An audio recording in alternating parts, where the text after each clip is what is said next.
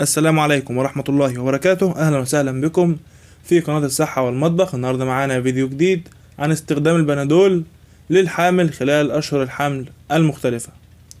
على الرغم من وجود بعض الأضرار للبنادول عند استخدامه بشكل خاطئ أو بدون استشارة الطبيب إلا أنها لا تمنع من استخدام هذا المسكن الآمن مقارنة مع غيره من الأدوية عند وجود الحمى والألم.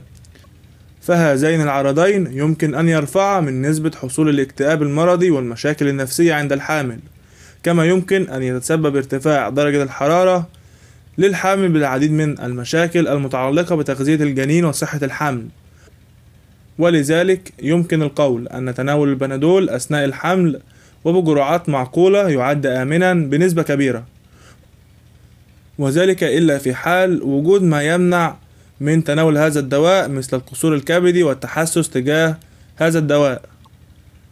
ولذلك توصى الحامل باتباع إرشادات الطبيب دائما والحفاظ على الزيارات الدورية للطبيب من أجل تقييم الحمل وتقديم النصيحة الأمثل. وإليكم بعض أضرار البنادول للحامل. على الرغم من كون نسبة المخاطر من البنادول قليلة نسبيا أو كونها حاصلة على فئران التجارب فقط دون الإنسان إلا أنها تعد محط اهتمام يجب دراسته بشكل واسع. كون الباراسيتامول أشيع المسكنات التي يتم وصفها للحامل.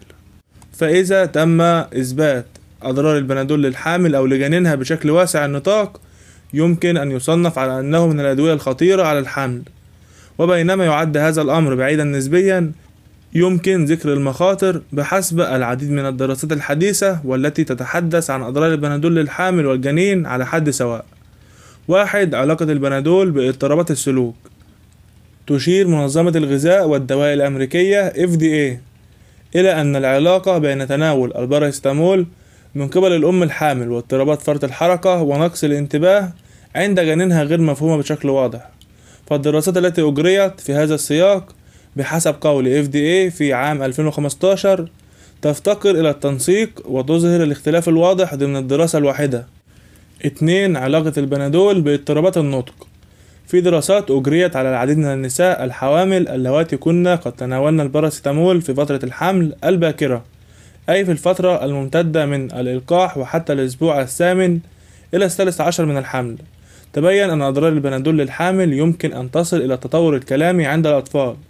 حيث تم القيام بالدراسات بناء على ما يعرف بتأخر الكلام عند الأطفال والذي يعني عدم قدرة الطفل على استخدام أكثر من 50 كلمة في عمر 30 شهر. وتبين أن 10% من الأطفال الذين أمهاتهم تناولن البنادول كانوا يعانون من تأخر الكلام وكانت النسبة عند الأطفال الذكور أعلى من الأطفال الإناث. بينما أشارت أيضا إلى ارتفاع بمقدار ستة أضعاف. فيما يخص الأطفال الإناث عند تناول الأم الحامل لما يزيد عن ست حبات من الباراسيتامول يوميا في فترات الحمل الأولى أي 3 جرام. ولذلك تنصح الحوامل بتقليل الجرعات الدوائية المتناولة من جميع الأدوية ومن ضمنها البنادول في فترات الحمل الباكرة كما يجب مراقبة الأطفال بحثا عن مشاكل التطور الكلامي. والتي يمكن أن تدل لاحقا على وجود مشاكل عصبية ونفسية أخرى. في نهاية الفيديو ننوه أن المعلومات المذكورة في هذا الفيديو لا تغني أبدا عن زيارة الطبيب وللمزيد من المعلومات حول هذا الموضوع يمكنكم الرجوع لمصدر هذه المعلومات في وصف الفيديو. في نهاية الفيديو لو عجبكم يا ريت تدعمونا ب like و comment وشيروا الفيديو مع أصدقائكم وتنتظروا مننا كل جديد في قناتكم قناة الصحة والمطبخ.